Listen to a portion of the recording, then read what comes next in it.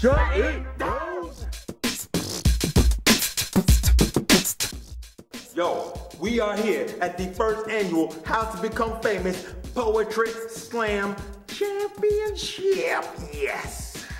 They are competing for three grand prizes street cred, access to women, and goon status all up for grabs. In this corner, we got my main man, the UN, United Negro, saying what's up.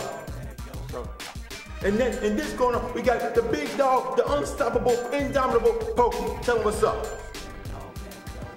Yeah, we about to shut this down over this piece, man. It's gonna be amazing. All right, all right, Pokey, Pokey, Pokey. Hit him with that poetry.